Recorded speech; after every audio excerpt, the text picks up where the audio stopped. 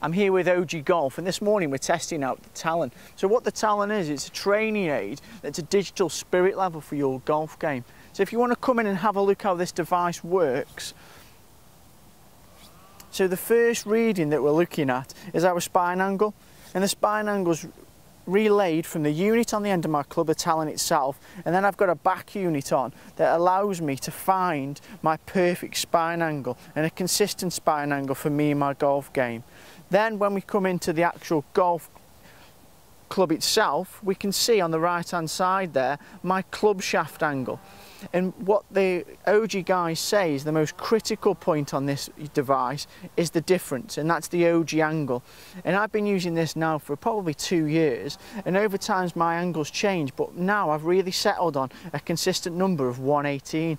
That for me is being able to, for me to repeat the golf swing and give a consistent strike and hit more balls on target. And then the fourth reading that we can see is actually where my club face is pointing. So at the moment it's square to the target, but if I manipulate it to the right, it's open. And then if I turn it to the left, it's actually closed. So I'm going to try and hit a golf shot for you now, taking those four readings into account and getting into my consistent Ojee angle of 118.